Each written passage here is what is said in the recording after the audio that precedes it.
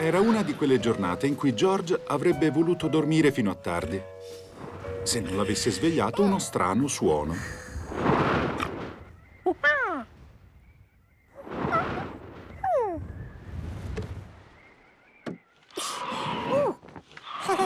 Con quel vento, anche la finestra diventava una specie di strumento musicale.